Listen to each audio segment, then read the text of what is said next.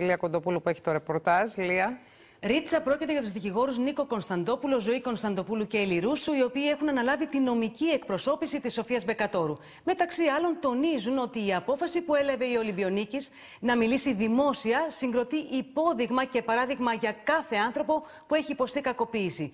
Από αύριο θα πραγματοποιήσουμε σειρά διαβημάτων προς τις αρμόδιες αρχές με στόχο την άμεση ενεργοποίησή τους στην υπόθεση στο πλευρό της Σοφίας και κάθε θύματος των συμπεριφορών και των εξουσιών που κατήγγειλε καταλήγουν στην ανακοίνωσή τους οι τρεις δικηγόροι.